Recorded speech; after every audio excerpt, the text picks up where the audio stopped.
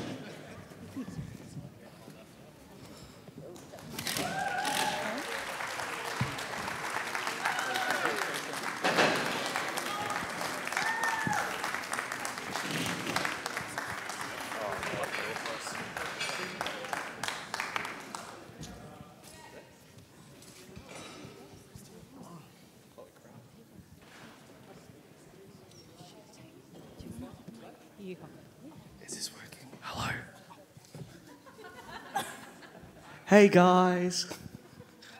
Hi.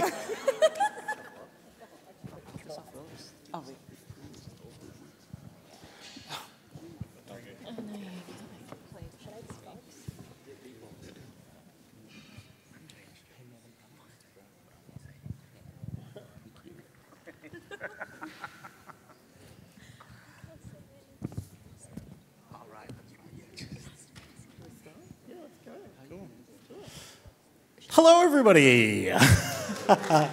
it's great to see you all. Uh, surprise, I'm not Lee Lewis. My name is Ari Polani. Uh, Lee Lewis is up the back. Uh, my name is Ari Polani. I'm one of the producers at Queensland Theatre, and I'm really excited to meet you all and chat further about this work in the foyer. Um, please, with all of these amazing rock stars on stage, resist the urge for photos and film. You'll be able to chat to them all uh, along the way. But it's an absolute joy to meet you and discuss this creative excellence on stage tonight. Let's give it up for the Viet Gone crew and cast. Firstly, I'd like to acknowledge the traditional custodians of the lands and the waterways that we work and gather on, the Yagara and Turrbal peoples and pay my respects to their elders, both past and present, and extend that to all the Aboriginal and Torres Strait Islander peoples here today. Although we love being at the Bille Brown Theatre just down the way, it's an absolute pleasure to come here to this beautiful space beside the river. All right, so, let me look at my notes. we are here to discuss Viet Gone by Quy Nguyen, directed by co-directors Ngọc Phan and Dan Evans. Proudly, yes. Proudly supported by our Landmark Productions Fund. Uh, Brisbane audiences know these two names, you are familiar with them, but to combine them together is a magical act. uh, We'll hear more about these fine people, but quickly, let's just go down the line. So, everyone, can you introduce yourselves, your name and your role on Viet Gone? Oh, hi, I'm Bernie Tanhose, the lighting designer. I'm Nevin Howell, projection designer. Uh, I'm Mike Willmett, um, sound design composition. I'm Bridget O'Brien, I'm the assistant stage manager. I'm Christina Smith, set and costume designer. Hello, my name is Daniel Evans, but you can call me Dan, and I'm one of the co-directors of Viet Gone. Hello, everyone. My name is Ngọc Phan. I'm one of the co-directors and uh, one of the actors in the cast. I play Hung Tu, American girl, American, no, Asian girl, American girl, translator, hippie girl. Hi everyone, my name is Kristie and I'm an actor and I'm playing Tong in Viet Gone. Hi everyone, my name is Hieu Lung and I'm playing the role of the playwright Quy Nguyen. Hi everyone, I'm Aljin Abella. I'm one of the cast. I play Nhan and Quay. G'day guys, my name's Will and I play Quang. Uh, hey everyone, my name is PJ. Um, I'm one of the actors, and I play the roles of um, American guy, American guy, Asian guy, uh, hippie, and Zai, Zai, Zai, um, Bobby. Captain Chambers, redneck biker. Ah, that's it. That's it. And dancer. Hi, my name's Yanni, and I am the stage manager of Viet Gone. Awesome. Thank you, everybody. Now, I hope you took notes and uh, wrote down who everyone's playing. There's going to be a quiz at the end. Uh, now, Viet Gone. It's a semi autobiographical account of American playwright Qui Nguyen's parents. Helicopter pilot Quang, played by Will, and bold and brave Tong, by Kristie, have both narrowly escaped the fall of Saigon and the end of the war in Vietnam, 1975, a historic moment etched in our living and collective memories. Arriving at the refugee camp of Fort Chaffee, Arkansas, Arkansas, although Dan, you had a moment with Arkansas, maybe in Arkansas. Sorry to call you out in front of everyone, oh my gosh. the two find themselves traveling in different directions. Quang wanting to return home to Vietnam, and Tong looking to make a fresh start in the land of opportunity. Alongside them are a collection of memorable characters. We heard playwright, best friend Nhan, uh, Quay. Uh, we've got love interests galore. You will find Tong kissing a few people. Uh, wait and see. uh, and a lot of these characters will make more sense once you see it. When you hear American guy or Asian girl, uh, redneck uh, biker is pretty self explanatory. Um, you will discover them. Uh, and in addition, Ngọc Phan taking the stage to all of those characters as well. There's action and daring, there's song and hip hop, one of the best playlists in town. And at the heart of it, there's a love story that spans continents and generations. Exciting, right? Good. So, to kick off, let's ask some questions of our beautiful folks. We're going to start with our co directors. Dan and Ngọc, can you share with us what your journey with Vietgone has been? Because there has been floods, plague, pestilence, but now we're here. Hello, everyone. Well, this work, how amazing. It was meant to be on in 2022. And um, it was to be directed by um, artistic director Lee Lewis. And then, of course, we had flood, plague, crickets, locusts, the works. Um, and it was moved um, into um, the following year.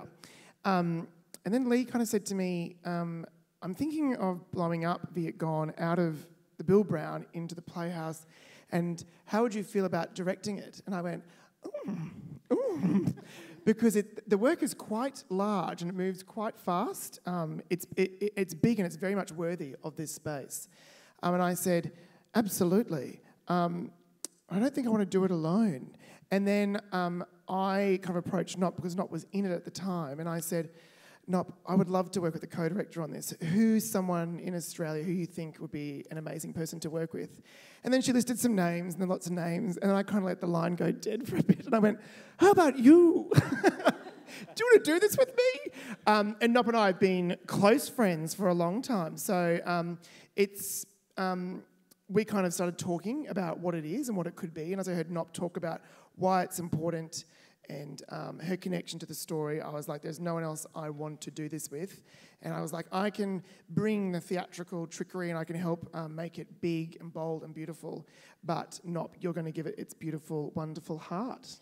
And that's been the case, I think. Um, that's where we are now. And so we kind of I began on this journey, and it's funny, what a journey. and I said to Lee on the weekend, actually, I was like, I think um, sometimes plays arrive. You're given a play for a reason, and I think the reason I've been given this play, or why it's come into my cosmic orbit, is to meet and to work with one of my best friends, but also to work with these amazing, amazing cast members, some of whom are gracing the stage this size for the first time. Ooh, scary. Um, but great, exciting. And so it's been um, a real, real roller coaster ride and lots of fun. Uh, no, there has been flow charts. There has been Venn diagrams. How are we going to do this? Who's taking care of what? How have you arrived at this collaboration? What's working?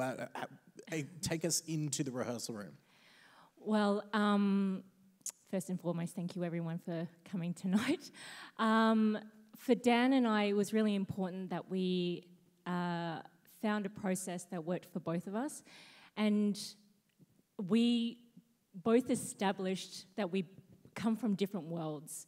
Dan, this is my first directing debut, main stage debut, and Dan's had a plethora of experience. And so, um, just, you know, growing up with different cultures and different um, artistic backgrounds, we decided to kind of use that as a philosophy for the work.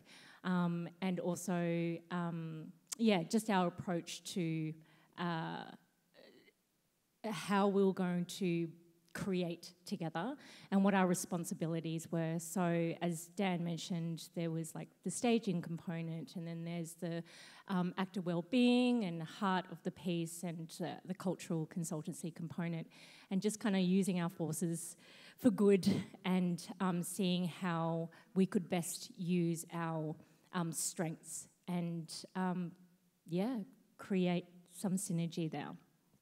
Well, from what I have seen thus far, the strengths and synergy are there. I'm so excited to share this with you, as we all are. Um, we had a glimpse into the rehearsal room for the first 20 minutes of the show uh, late last week, and there were people leaving stunned. There is so much going on, but I want to head over to Christina. Christina Smith, our set and costume designer. We also have Nat Reiner, who is our uh, associate costume, our costume associate. But Christina, what do we see behind us and what are we yet to see? Because there is a big, big component to this. You, you don't see much behind me at the moment. we're, we're on actually, we're, we're actually sitting on one of the big components, which is um, the, I can't remember the size of this revolver, I want to say 11 metres. Something like 11 metres. I'm getting my shows confused. this is what happens. Um, yeah. But there's a very big component um, coming in tomorrow. I don't know. Am I am I allowed to say? Do I say? Do I spot? I'm going to do Somewhere it? the amazing Dan Madison behind us is looking at a, his schedule and knows exactly when it's about to arrive. Exactly. Likely tomorrow or the next couple of days. Absolutely. Um, uh, in terms of I guess how do, how do I describe it? How we got there? But um, on this revolve is we decided through, and it was quite a process with um, knocking down. Yeah, we literally went through. I've got a photograph of a bin full of designs that we went through over a series of creative developments, trying to figure out actually how to really um, provide a space to tell the story and to tell the story in a way uh, in which it will flow. Uh, and also to try and evoke there's an incredibly uh, different amount of landscapes. We are talking um, Saigon in 1975, um, highways in Arkansas right through to California, refugee camps.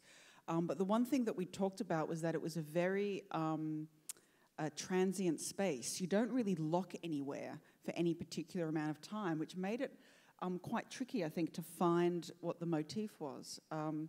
And ultimately, what we've done and what you will see on this stage um, is a really, a, we've been calling it a, kind of like a monolith structure, but uh, it's a highway billboard. Um, it's quite large, and in fact, we were just looking. I'm excited to. I'm so excited to see it tomorrow.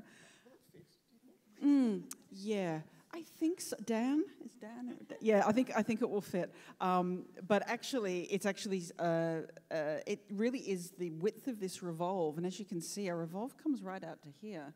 So the structure is coming out to you in the audience actually as it comes around. But what the structure allows us is a it's a motif of um, the idea of a journey or a travel, the idea of pursuing a dream or an ideal with the idea of the advertising provides us a projection surface, which is my colleague here, Nevin, might talk about. Um, and it also provides a, a, playground space in which um, the cast, uh, along with Bernie and Mike, will transform it into all the different um, locations. And then there are some other fun bits and pieces, maybe a little bit of sparkle at some point. But that's what you will see when you come. Amazing. Uh, moving down the line, I would also like to. Uh, well, actually, our technical creatives have been doing a bit of magic in uh, our Diane Cilento studio uh, back at home, Queensland Theatre, where they have been pre visualizing this whole thing in 3D. There's like screens set up, we see the revolve revolving, we see Nevin's beautiful projection work happening, we hear Mike Willmett's amazing sound. Like it is all, there is so much work that is occurring before we even enter into this space. Um, Bernie, can you kind of talk us through a bit of that and then how like light is going to shape our experience inside of Viet Gone? Sure, thanks. Um, yeah, so as you mentioned, we've been we've been pre-visualizing the show in 3D, which um, is a you know relatively recent technology of the last sort of um, you know five to ten years, I guess. Uh, and it, what it what it does is enable us to achieve a much higher level of production in, in the same amount of time um, when we're plotting lighting cues and tricky, um, you know, especially on revolves and things, you know, we'd, we'd normally kind of have to sit in the theatre and then work it out. And um, it also enables a certain um, creative space when, when you're doing it, um, you know, when you're, when you're not doing it under pressure in the, in the theatre and there's, you know, there's whole, whole armies of people and actors and directors and crew standing around waiting for you to do your work, do your work. Because as lighting designer and um, you know projection and uh, and, and, audio, um, inevitably we go last. So we you know we, we don't see our work in, until it's um, until we're in here and, and, and we're actually working on it. And what this does is um, really uh, enable uh, you know a certain amount of freedom and, and sort of creative leverage we can we can have on a piece which we wouldn't have in, in such a short time. Great. Um, I might need Dan and Ngọc to, uh, if there's any spoilers that you hear us approaching, if you can give us like a buzzer sound to avoid. Uh, Bernie, you have uh, done a headlamp on a certain, am I allowed to mention it? Motorcycle that is in the show. There is a motorcycle death race uh, a fight that occurs on stage, as all of you motorcycle enthusiasts might be familiar with uh, from your Saturday rides. Um, but Bernie, how has that been and like translating what we all think occurs up above us in and around further around the stage? Um, I think, you know, as lighting designers, we always try and bring elements of, you know, everyday life and uh, lighting elements of everyday life to the stage because it helps us ground, it helps us understand it and connect with what's going on and visually and, and what we see. Um, and in this instance, you know, there's, there's a motorbike um, in, the play, and uh, you know, we've the very clever team at QT in the QT technical department have, have made it work wirelessly and remote control and change colour. So we're, um, we're, we're well endowed when it comes to motorbike lights on this one. Good to hear. Uh, Lee, does that mean we're going to have a motorcycle in every show for next year? Yeah, great. Thumbs up, everyone, just so you know. Round the Twist is going to have a motorcycle. um, all right, Mike Willmett, our sound designer. Uh, I mentioned before that this is going to be the hottest playlist in town. Uh, so when you arrive, have Shazam open so that you can grab a whole bunch of songs. Um, but there's uh, you have captured a spirit of Vietnam of the time uh, in some really significantly beautiful ways. Can you share that with everyone here? Yeah, it's been an absolute delight actually. It's kind of been a real Venn diagram of some of my favourite sort of styles of music to begin with. So we've had this mashing of uh, 90s hip hop from Shane Rettig and the original score for this, and then taking it back to 1975, Motown from America and country from America but at the same time found these records from Saigon called the Saigon Sounds Records that are compilations made of Saigon and Vietnamese music right up until 1975. And it is absolutely stunning musicality and beautiful eclecticness of style and where that's come from. And so it's been a real joy to be able to weave those into this story as well. So on top of the hip hop, oh, um, excuse me, on top of the hip hop and alongside country and Motown to kind of make a new mega mix tape of the playwright's kind of dream of Hay may have mentioned his parents meeting for the first time. Um, the playlist itself, we started with about 150 songs, maybe, and whittled it down, and then it grew again out to about 120, and then it whittled down again um, to 115, yeah. Uh, but yeah, we've been working on this playlist since January this year, and it's been a long travel of finding the best selections, really, kind of as a radio DJ could do to trans- hopefully transport you back in time and place to 1975 um, through the lens of someone who grew up in the 90s. Yeah. And Mike, the attention to detail is second to none. So amazing work. Um, Nevin, with Nevin Howell, our video designer, continuing this conversation about the historic nature of these events, how has that kind of played into uh, the conversation visually that we're going to see how video plays? Oh, it's uh, it's yeah, as you know, Ari, um, helping me source these images.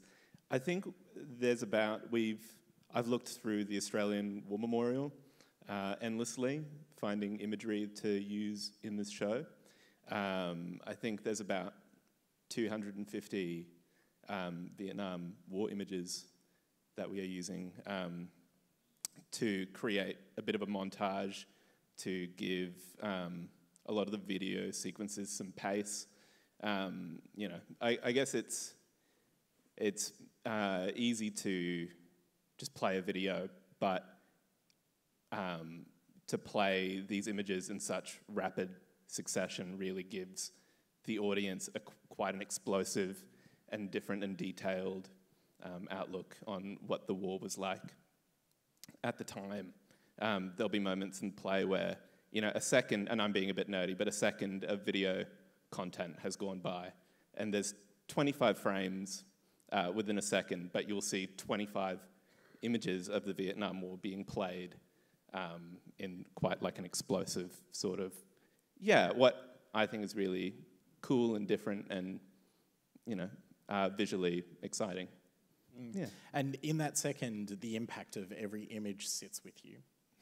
There is some iconic, uh, like, media that you will see from the time, newsreels that will be familiar.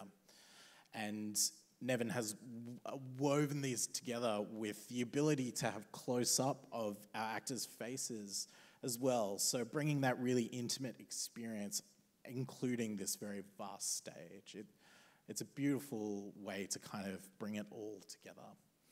Um, oh, I wish Min was here, everybody. Min Nguyen, if you don't know Min Nguyen, and you're not going to meet him tonight, but hopefully you will at some point, um, you need to know him. He has been our hip hop consultant, but let me just read out his list of other things that he does rapper, producer, streetwear designer, martial artist, MC, radio announcer, podcast host. Um, he has helped uh, the cast shape the raps and their natural kind of flows and finding the rhythms of this work. But in addition to Min, uh, we have had the beautiful Kate Harman and Gavin Webber from The Farm, which is a Gold Coast based collective uh, working on movement. I'm going to throw to our directors. Can you talk us through some of the movement aspects of this work on their behalf?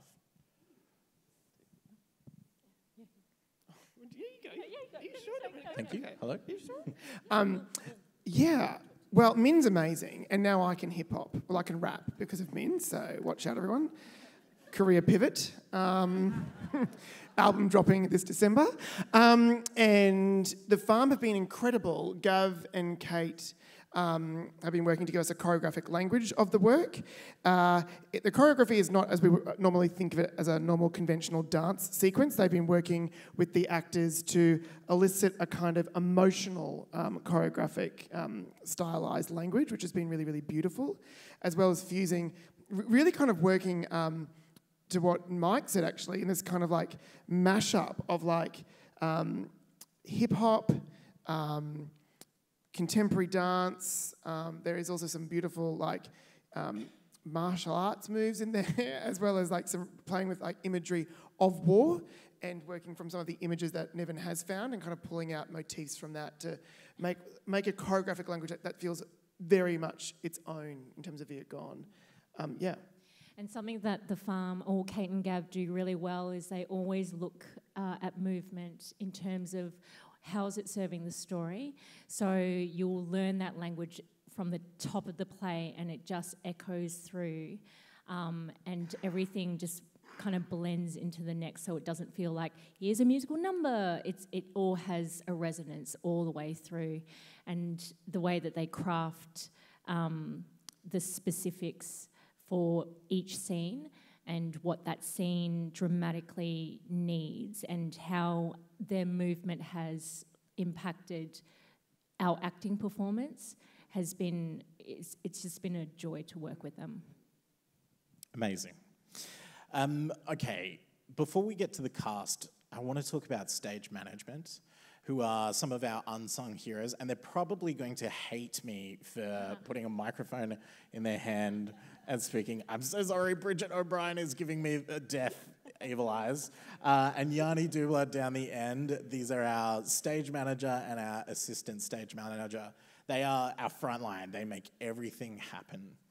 Um, so, my question for the two of you is uh, what can you give us an insight into what it takes to uh, realize Viet Gone?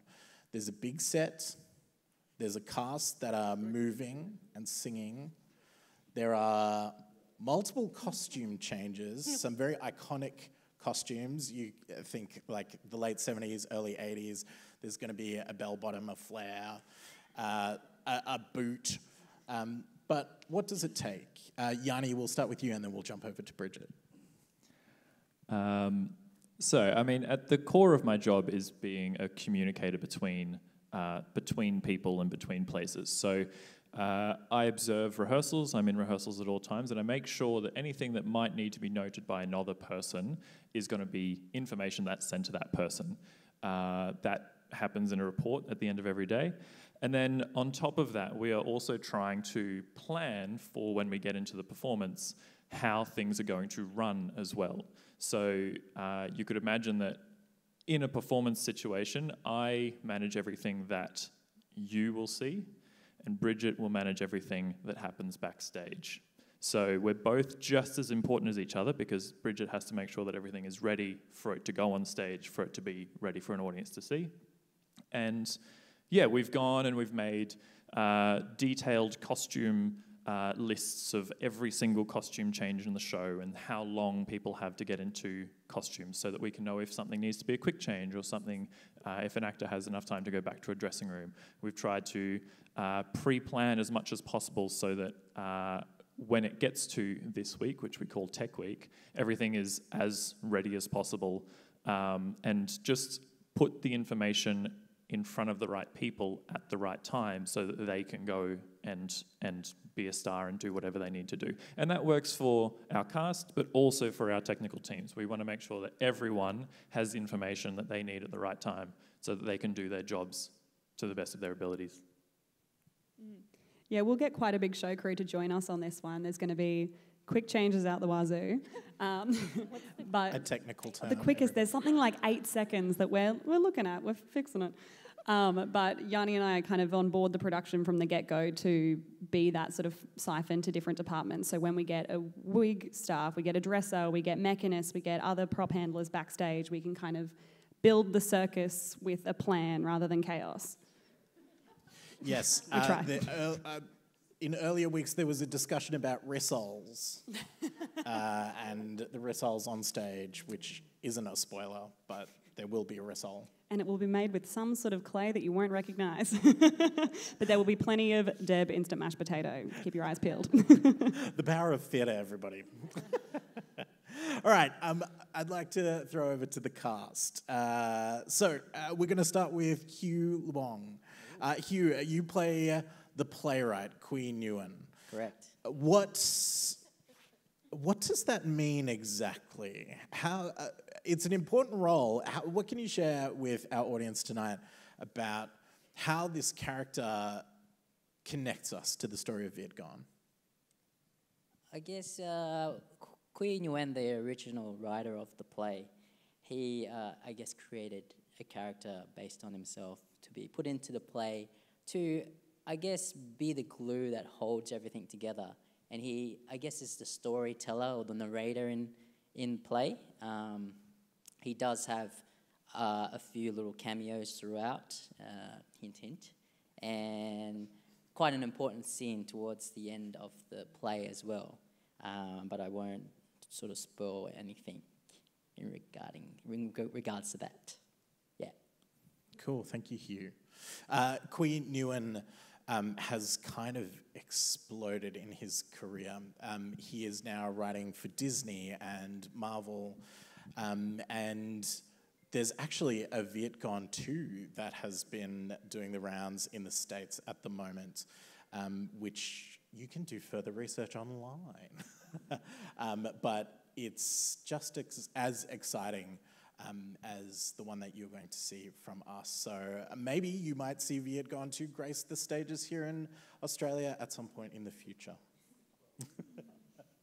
um, all right, Will and Kristie. Uh, you play Quang and Tong, our lovers. Um, what can you share about their journey with us? Kristie, please go first. Yeah, go for it. No, will you please? Oh. All right, that's a that question's out of this world as extraterrestrial. Um, look, there are some wonderful aspects in this play that every single person that walks through can take away, uh, which is it's it's it's a very specific type of performance we're producing, but at its core, it's about love eternal uh, which is something that I feel that we can all very much relate with. Um, we have a meet cute in the play that is unexpected, that evolves throughout the duration. Um, I'm just very mindful not to spoil anything. Uh, uh, but it's definitely something that it's a bonding that has occurred through a very intense emotion that both of them have felt through an event that this story is based on.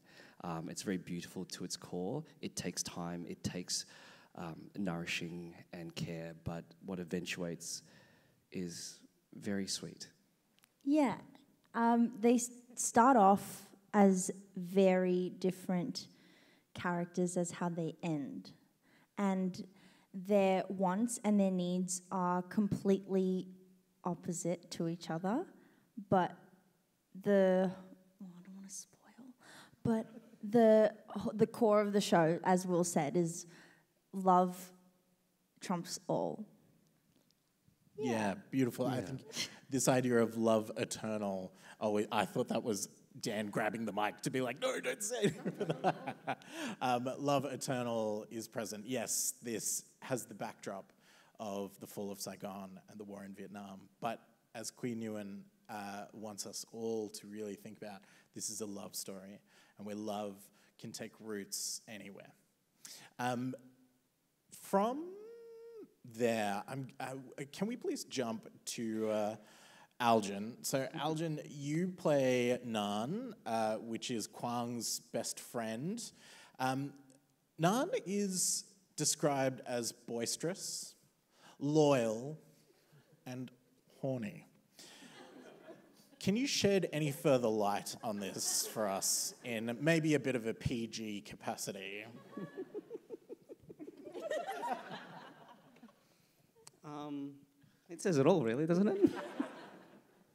uh, no, Nhan's a very, uh, uh, very fun character to play um, because I, I, feel he brings so much life and energy and joy to the characters that he interacts with, mainly the Quang character here. They, they've known each other for um, a very, very long time.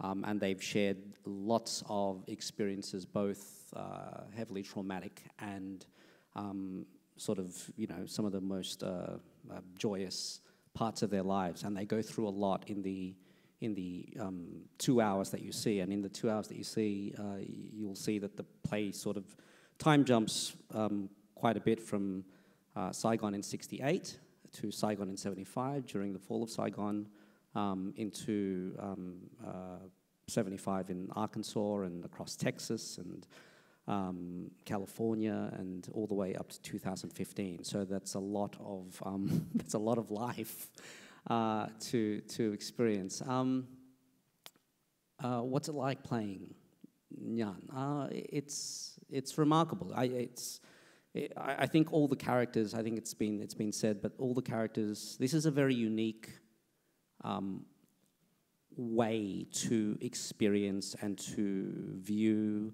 a period in time that has often been looked back on, uh, and even in, in, in this country, um, through a very political lens and through a military lens. And it's very rare that you get to hear from a very personal lens of what it was like for people who experienced a period in time that was very difficult um, to go through and what how how could you possibly move on um, uh, if you go through that and have to escape a war zone and be plonked suddenly into um, a, a, brand new country? And how do you how do you pick up your life and how do you start again? Um, so uh, all the characters you know more or less go through um, uh, their individual journeys and you'll see that because they all are different people and have different personalities that um, uh, they all go through. They they all they all um, yes they all manifest that through through their own through their own ways. Um, hmm. yeah. yeah, thank you. Beautifully said. Uh, I noticed that you covered boisterous and loyal and left the other one a little bit uh, silent. So you'll just have to see the show to find out the rest of those parts. Um, over to Patrick Janot. Patrick, uh, you play a number of characters uh, Giai, Bobby, Captain Chambers, Redneck Biker, and Hippie Dude. Which one's the most fun and why? Oh, great question. Ah, they're all so much fun.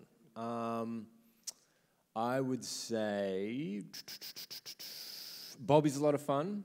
Bobby carries a lot of heart, um, which first read, first listen, didn't really expect to kind of uncover so much heart in Bobby. Um, yeah, that's just kind of been a really joyous character, full of hope, which I think is always fun to swim in. Um, yeah, so Bobby, I'm really looking forward to sharing. There's a few kind of uh, character traits that I really didn't think I'd ever get a chance to portray. I think I can say his accent. Yeah, so Bobby has a southern accent, which is just something that I, I never thought I'd get to do. So just to kind of get the feeling of those those beautiful southern tones in my mouth, that's been really lovely. Um, yeah. Beautiful. Uh, I'm going to jump to Kristie from Tong's perspective because Bobby is one of the competing love interests. What's your insight from maybe Tong's world on Bobby? Tong thinks Bobby is really cute. oh no, I've sorry, started some Bobby, drama on stage. I'm sorry. yes. I think she's also he's the first boy that she meets when she gets to America and obviously he's foreign to her so she finds him very fascinating, finds him very interesting, and she likes the fact that he sort of represents this new world um, in America to her. Um, yeah, she doesn't. Okay, she doesn't feel like because of they have a language barrier, so it's not like they hit it off straight away, but they do have a fondness to each other that they explore a little bit. Um, but then someone else comes along. So, and that's where the end of the spoilers are. Um, so, uh, redneck biker comes along. Um, as part of uh, the kind of, uh, you're going to hear some, as PJ, as Patrick was saying, uh, southern accents. You'll hear uh, beautiful Vietnamese song. But Dan Evans, there is some, uh, the way that our American characters speak is a little bit iconic. Um, could you give us a bit of an insight into that and the way that Qui Nguyen has kind of written uh, how we encounter the Americans inside of this world? Mm. Well, what Qui does very cleverly is he puts the shoe on the other foot. And so we um, experience in this play all of um, the Vietnamese characters. Um, we can perfectly understand them, but we, as the audience, cannot understand what the Americans are trying to say. So, yes. Yes, a and so all of the American characters speak in catchphrases and idioms like cheeseburger, cheeseburger, NASCAR. Frickles. And Botox. And, yeah, yeah. So there's lots of um. So what's beautiful is that that's the way that Qui represents the language barrier. So while everyone on stage can understand each other, the Americans cannot understand the Vietnamese, and the Vietnamese cannot understand the Americans. So they kind of it kind of puts the shoe on the other foot, which is very very clever. Um, there's some very funny moments um, watching Bobby try to speak Vietnamese, which is quite great. It's beautiful.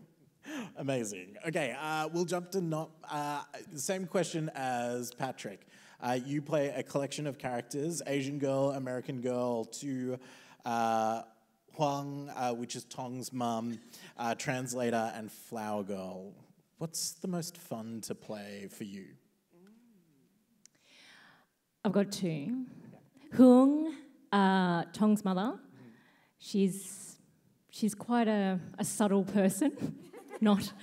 Um, she's got a lot of heart, a lot of sass, but she has this wisdom and a, a lot of love to give.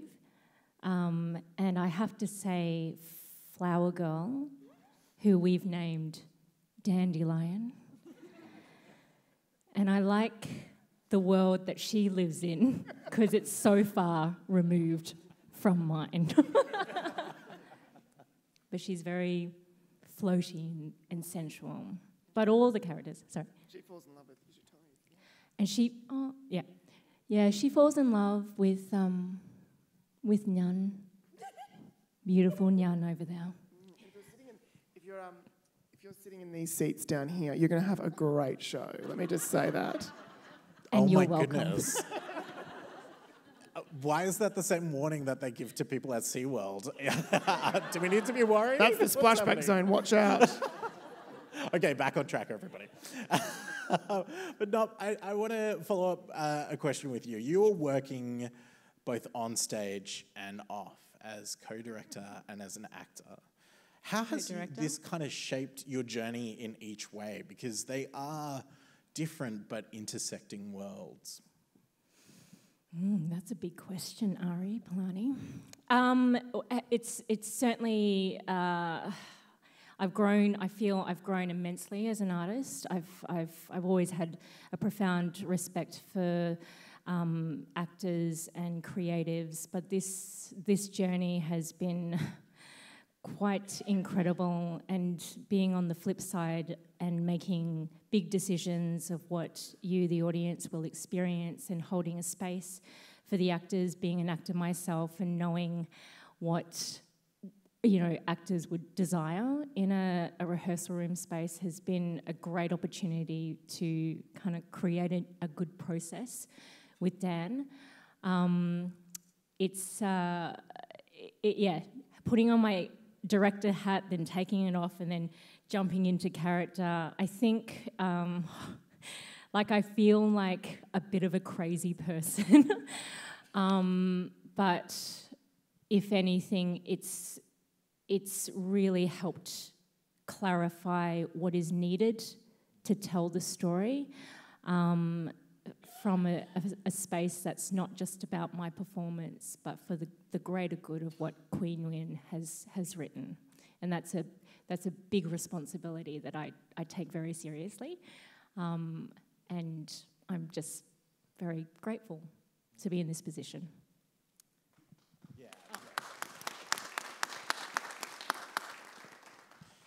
As a producer, we get to see all of these fine people doing their work. But yes, to honor you all, you are doing so amazingly. This is my one opportunity to say that in front of all of these people. You are crushing it. And uh, the joy that is at Queensland Theatre, we hear some of the best tunes blasting out of uh, the rehearsal room. We see uh, our cast who are basically smiles on legs um, wandering the hallways. Uh, and uh, it's tough. They are working hard, but you, bring, you all bring a joy that is infectious and will be infectious throughout the city as well, in a positive way.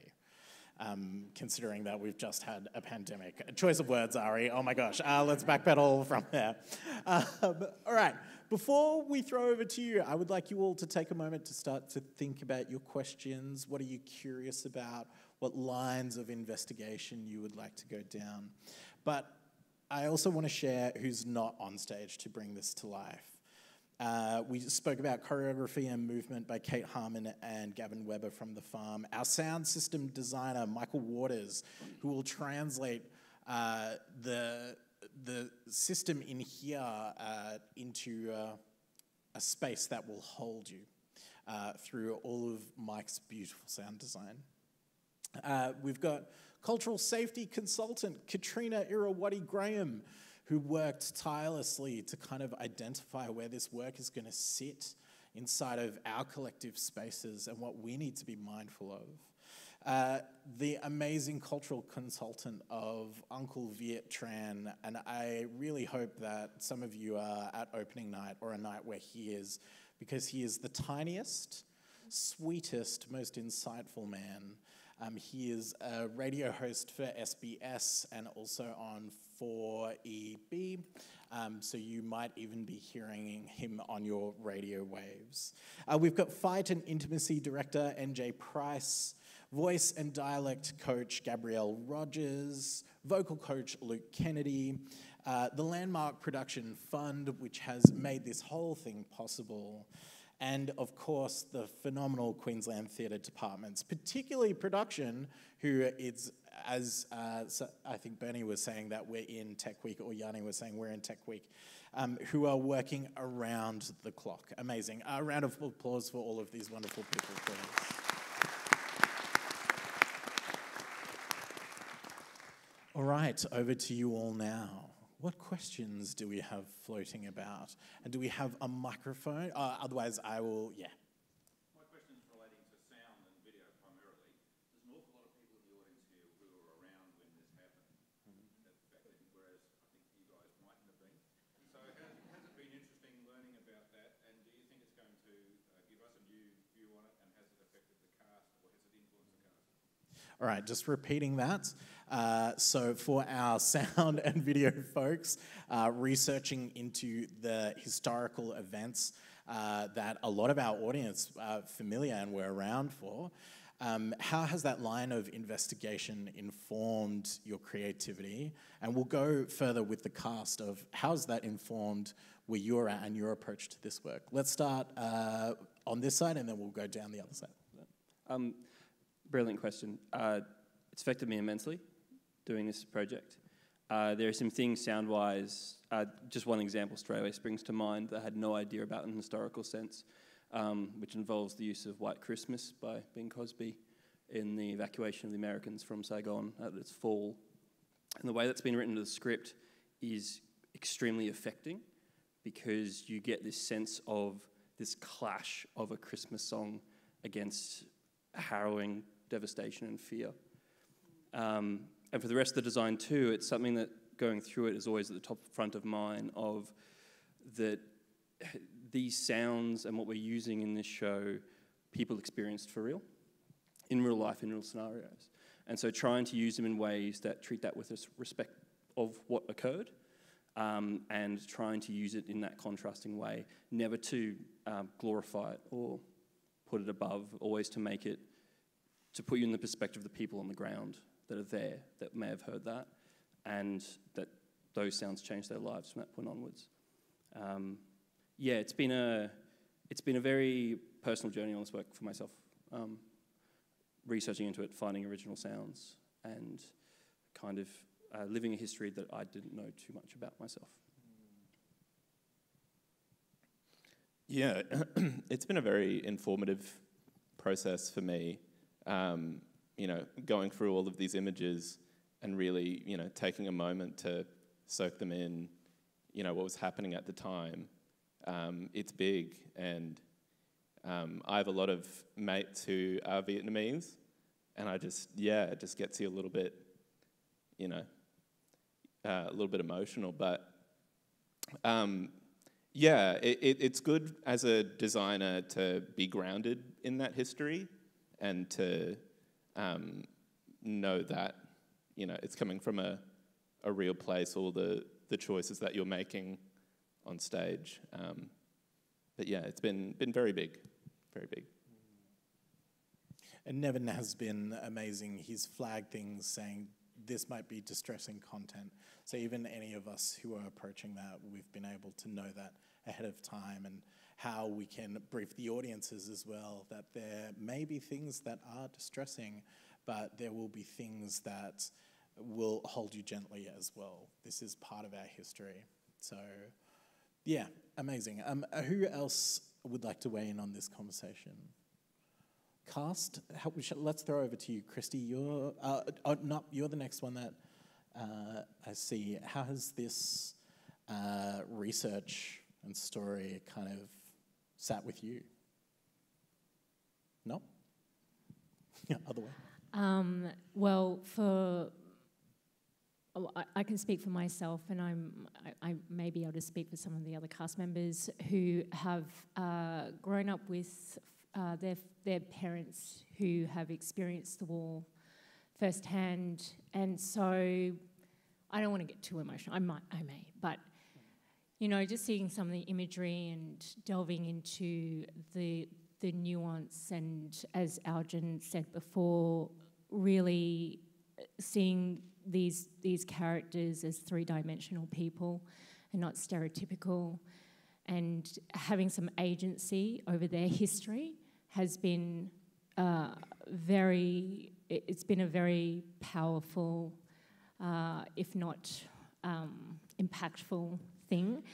And part of that is is witnessing the sound, uh, um, witnessing the the images that Nevin has so diligently um, looked through, and listening to the sounds of not just the music, but you know the sounds of war has been, well, for me, there are moments where I'm caught off guard, and it just deepens my connection to, well, it, it deepens my empathy for not just my, my family, but for anyone who's had to go through something so traumatic.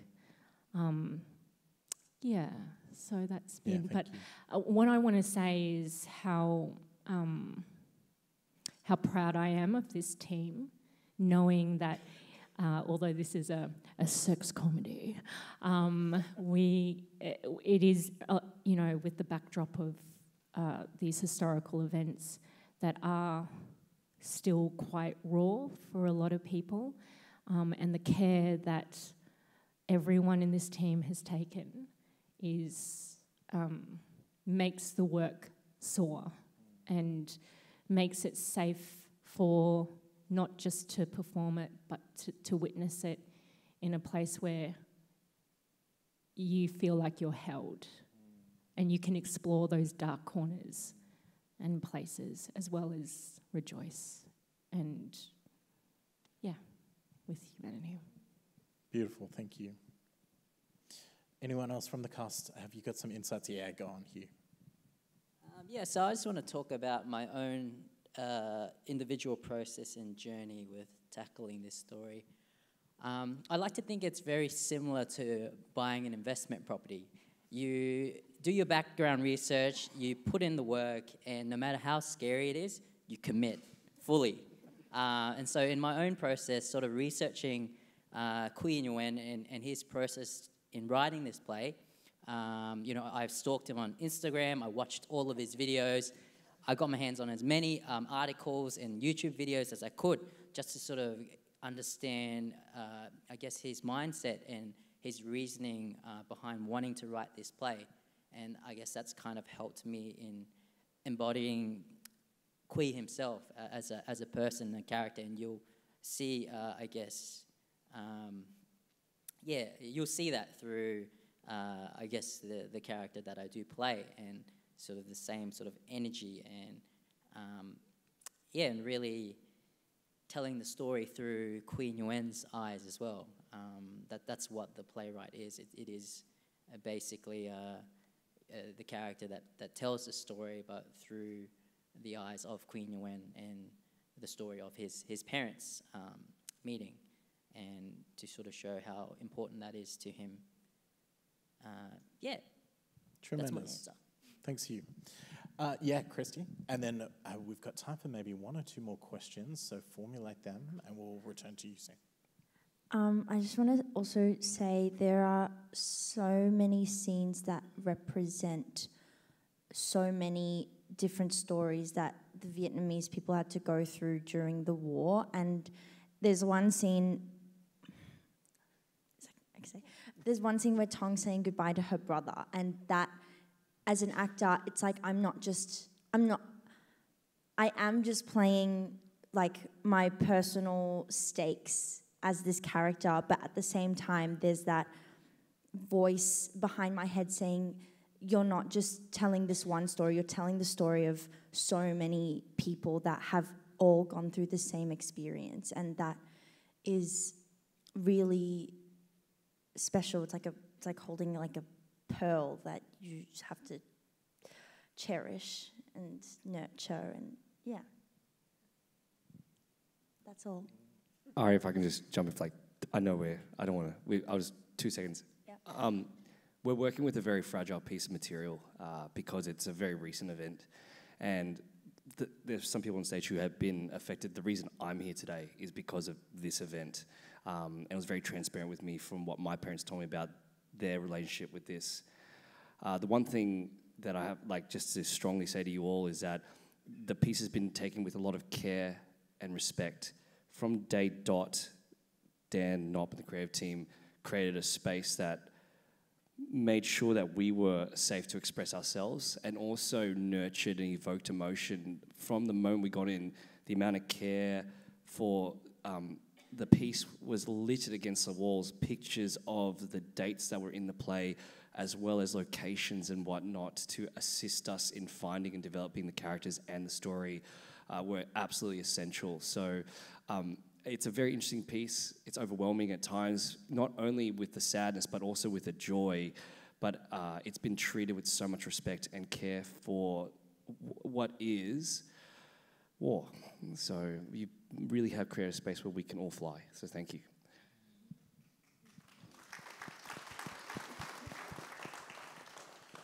Um, we'll move to another question, um, but just to circle back on that, there's a stunning write up by playwright Chi Vu on the Queensland Theatre website about representation and the history and how this story holds this both gently and boldly. So if you've got 10 minutes with a cup of tea, hop onto the website and check it out. Um, all right, we have a question up the back, yes. Yes. I think there was already a buzz about this production. This is probably one of the bigger play briefings. but what I wanted to do is to say congratulations to each and every one of you because collectively you've managed somehow to generate even more excitement and anticipation. um, so you've got a lot to look up to. And I was trying to think of a question that wouldn't um, lead to any more spoilers. So perhaps a bit of a different tack. I was just intrigued about the particular marketing of this production to students. I don't know whose decision that was, and you know, can someone explain the motivation and what you're trying to achieve? Is that legal? I don't know. Someone. Uh, So the question, uh, yes, I think uh, uh, congratulations to everyone here, um, and also to you all for like being on the journey of this work as well. The question is uh, around marketing and the engagement of young people uh, for a free ticket to Vietgone for every high school student. Uh, and the idea is one Lee Lewis's. Over to her. Look at this. Look at this. You got that? Okay, hi. Thank you, Ari, but no. I went a little bit rogue last year, and we had the most fabulous board when we decided to bring this to QPAC. Uh, I knew at this time of year, teachers would struggle to get students to come and see it It's the crazy end of the year. Everybody's doing all these different things. And frankly, Dan, Ngọc, you could back me up on this. There's some material in here. It's handled so beautifully, but there's a little bit of language, there's a little bit of sex, nothing too explicit. But I understand, my mum's a teacher, that it's hard, duty of care wise, for for a school to go, yes, we recommend this play. So we decided to go a little bit radical because I think it's really important that students have access to theatre. That once in their life, they could come and see something from Queensland Theatre, uh, find their way to QPAC, show us their student card, and sit there and see a wild imagining of a world, a story presented in a way that they couldn't have done by themselves, that really inspires them to think about the value of theatre in their lives. And I thought this was the play to do it on. And when I pitched the idea to the board, we hadn't costed it at all. It's costing us a fortune. Theatre companies do this around the world, but they generally find a big donor to support it. We just did it because sometimes, well, in this time when access for young people to the arts is getting harder and harder, sometimes the state theatre company has got to wave a big flag and do something that small theatre companies can't afford to do. Uh, yeah. So tell all uh, tell every teenager that you know they can go on the website, sign up for a ticket, they can get themselves to QPAC and come and see an amazing play that is unlike anything else we've ever put on our stage. Uh, if that happens, I am so thrilled. So I think if it's a little bit of a problem in, in that if too many people come, then we really can't afford the play. We haven't figured that out, and, and beautiful executive director Criena Gehrke is sitting there going, "Oh dear God, I hope this works." Anyway, but but no, it's in the spirit of wanting our young people to actually have see great work from their state theatre company. Really, yeah. Amazing. Brilliant. All right. Um,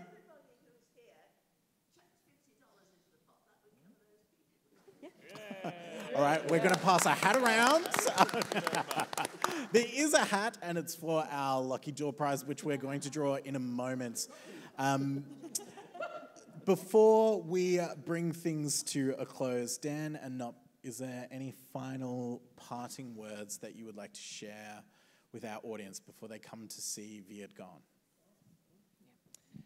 Um, yes, I want to say that it is um, a bit of a game changer. It's so exciting to work with a cast who get to take up space, have agency over their story, as Ngọc said. That's really, really exciting. Um, and it's also, I think, what I'm so excited for is the high school students, and I'm so excited for any. Qui Nguyen wrote this for his 16 year old self, and I'm excited that there's might be a 16 year old Vietnamese kid in that balcony who might see this, and it might just change their life.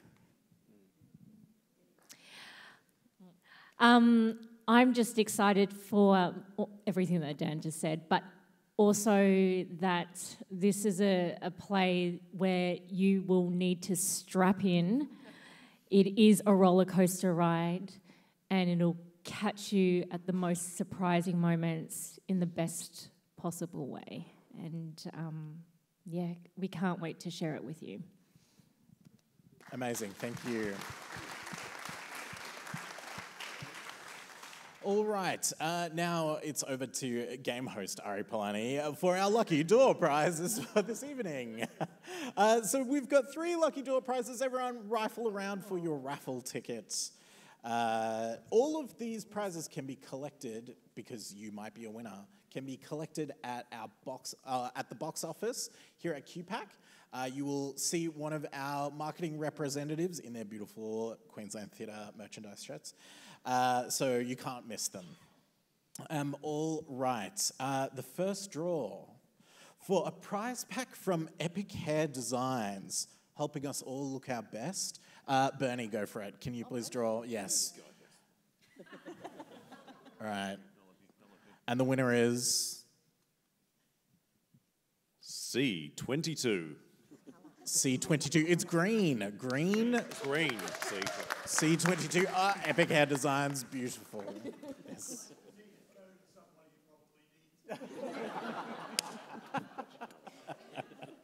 Uh, all right, our second draw. It's a double pass to Christmas Actually. The music of love actually live on stage Wednesday, the 13th of December at Brisbane Powerhouse. All right, who's our next one? Yes, let's go, Christina, please. And the winner is. It's purple B75. Purple B75. Yes! B75. Welcome, hello! Who won? Wonderful. Oh, Oh, this side yes, of the room getting a lot of the love. I want to see that. Let me know if you need a date. All right. And our last draw for this evening a $100 gift voucher to Bacchus Restaurant at Rydges South Bank. Temperature's rising. Turn on your humidifiers. What's Quang without Nhan? Let's read out together. Ready? Three, two, one. Purple, Purple B100. Purple B100. Hey! Who won? Where is it? Beautiful. All right. And a reminder that all of these can be. All of these can be collected uh, at the box office from one of our wonderful Queensland Theatre representatives. Um, yes, you heard that right. All high school students, uh, they can come and see Viet Gone for free.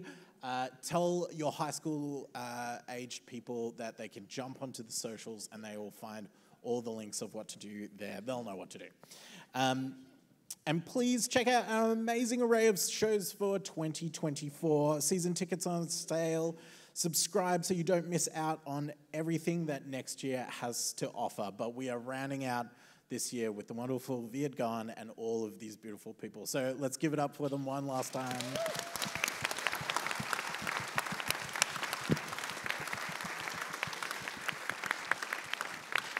Thank you much, everyone. We'll see you in the foyer.